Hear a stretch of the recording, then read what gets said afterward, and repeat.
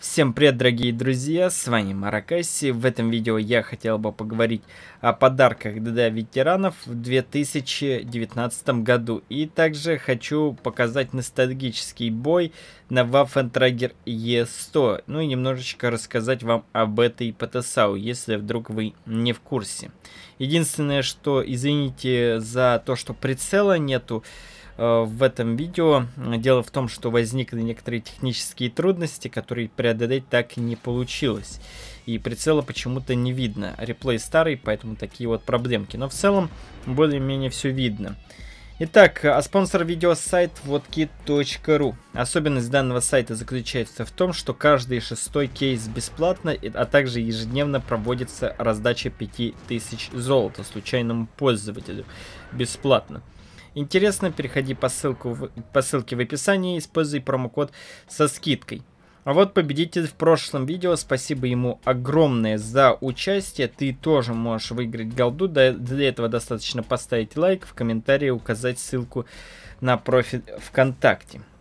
Итак, ребята, Waffentrager E100. Э, как же раньше у многих бомбило от этой машины, как же многие жестко ее критиковали, говорили, разработчики, что вы творите, быстрее выведите ее из игры, это просто ужас, а не ПТСАУ. Но сейчас вот я смотрю, ну, есть реплей, где тоже много урона нанесено. Это уже в 2000, э, практически 19 году, уже скоро 2019 год. И тоже игроки на обычных вот текущих танках э, наносят э, по 13 там даже иногда 14 тысяч урона. Это будет, конечно, редко, а вот во фля в те времена она довольно часто наносила по 13-14 э, тысяч урона. Да, это серьезные такие цифры. Смотря на них, хочется сказать и спросить, откуда, откуда столько хп у врагов-то, ну, чтобы все подставлялись, чтобы все это так сошлось, что э, удавалось так настреливать урон. Но так удавалось, потому что 6 снарядов в барабане, это, конечно, вам не шутки. И ко всему прочему, альфа у каждого снаряда 560. Очень хорошая стабилизация, к сожалению, в этом реплее, ну, не видно прицела, но стабилизация практически моментальная была в начале у Вафли, еще до нерфа. Э, ко всему прочему, очень даже неплохое количество прочности. Тут 2000 прочности вроде бы. Ну, это много на самом деле для PTSL.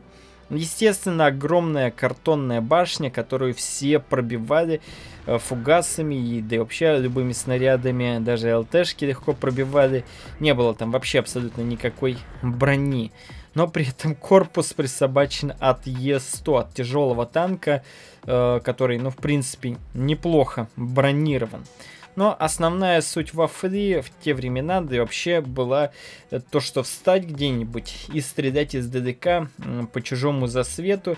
Или еще одна тактика была, я сам помню, когда играл на вафле, я эти времена застал, это подождать, когда противник подъедет поближе, после чего выезжаешь, желательно, чтобы враг был не барабанным, и уже враг, конечно, успевает по тебе выстрелить, скорее всего, он тебя пробивает. Но ты ему выдаешь целый барабан, скорее всего, его успеваешь забрать, что вполне даже неплохо, согласитесь. Но в основном настреливал, настреливалось большое количество урона за счет того, что враги очень жестко тупили в те времена. Ну и сейчас они тупят, но не знаю, как-то немножечко игра поменялась и сложнее, что ли, урон стал наносить. А может быть просто Вафля такая все-таки дичайшая имба в те времена была. И, конечно, ностальгия у тех игроков, кто тогда играл, особенно на Вафле, э, наверняка сейчас при просмотре этого видео появляется. Я лично немножечко поностальгировал. Ну и могу сказать, что э, разработчики сейчас вот утверждают, что Waffentrager E100 ни в каком виде не планируется, что они его вводить Но они, опять-таки, говорят хитро, они не говорят прямо категорично, что нет, никогда больше Waffentrager E100 не появится. Они говорят, ну пока что никаких планов нету по вводу этой ПТСАУ. Но также и никаких планов по возвращению Т-52 не было. Э, но Т-52 вернулся в виде подарка ветеранам. И в принципе такие танки, они очень даже хороши э, для разработчиков, потому что они вызывают очень море таких всяких эмоций у, у игроков. Даже многие возвращаются, чтобы посмотреть, как вернулись те их любимые танки, на которых они нагибали когда-то там давным-давно.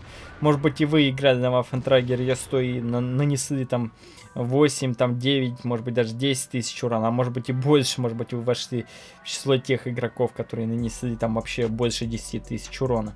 Таких, конечно, не очень много, но вот по сравнению с другими танками Waffentrager E100, конечно, просто является рекордсменом по боям, где там 13-14 тысяч урона нанесено. Ну и сейчас Waffentrager E100 доступна только на китайском сервере.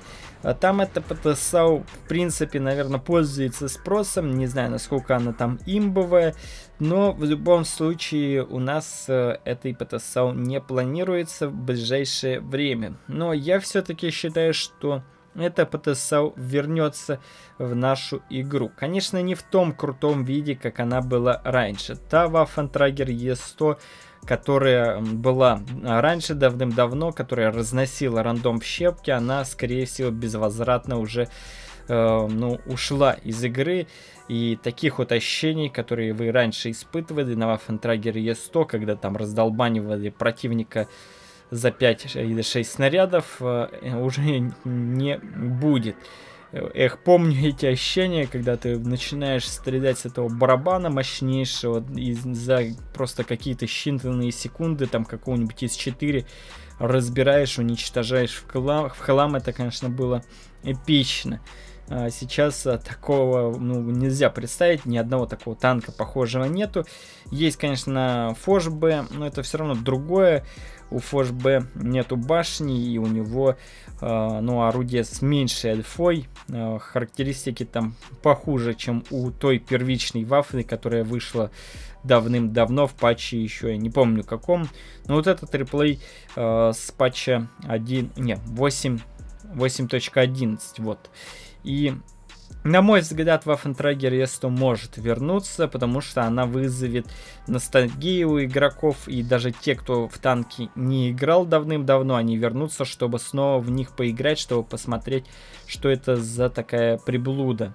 Ну и в основном, конечно, будут заинтересованы в этом ветераны игры, которые играли давным-давно, просто новички, ну, те, кто играет там год или два, они не поймут, что это за машина, хотя они увидят там, что несколько снарядов в барабане, их тоже это удивит, но они просто не вспомнят те времена, которые были раньше. И вот разработчики сейчас э, на VG-фесте в нынешние времена заявили, что в принципе они планируют снова активность для ветеранов в 2019 году. Новые подарки. И, естественно, многие игроки э, ждут э, там квас или какой-то еще новый танк. Естественно, ну, неизвестно, какой конкретно танк будет в 2019 году раздан ветеранам, но Waffentrager E100, на мой субъективный взгляд, может стать просто офигенным подарком для ветеранов. Э, и этот танк, э, ну, замечательно может, так скажем, э, подстегнуть игроков в плане того, чтобы они вернулись в игру. Да, кто-то скажет, да ты что, с ума сошел? Имбу раздавать всем? Ты чё, с ума сошел? Как такая идея пришла тебе в голову? Это полностью сломает и без того чокнутый рандом. Но, ребята, стоит отметить, что э, Waffentrager E100 будет гораздо с худшими характеристиками. Там, да, альфа будет тоже по-прежнему большая, наверное, но это будет уже совершенно не то, что было раньше, и она будет, ну, в принципе, просто неплохой, но не супер имбовый. Естественно, какую-то дичайшую имбу никто не будет раздавать. А вот какой-то хороший танк вполне могут раздать для того, чтобы привлечь внимание. Естественно, это будет акционным танком, а не премиумным, потому что премиумный Waffentrager E100 раздавать, ну, это слишком э, щедро со стороны разработчиков будет и слишком, ну, я думаю, ну, думаю, безумно, я даже не верю в такое. Но лично, э, на мой взгляд, мне кажется, что Waffen Trader E100 обязательно вернется в World of Tanks, хотя бы для того, чтобы навести шумихи, может быть, в виде просто премиум танка ее будут продавать, чтобы игроки, э, в общем-то, ну, поиграли, э, купили там, потратили деньги, конечно же, задонатили, но в любом случае э, получили какие-то эмоции от этого всего. А на этом все. Спасибо, что досмотрели данное видео до конца. Не забудьте его оценить. Желаю вам удачи. Пока.